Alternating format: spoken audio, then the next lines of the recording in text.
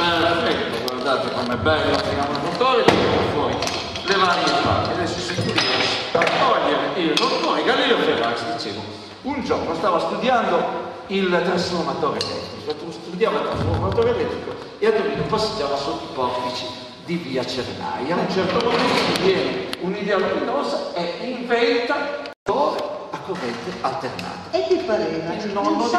spirito eh, di campanilismo subalpino non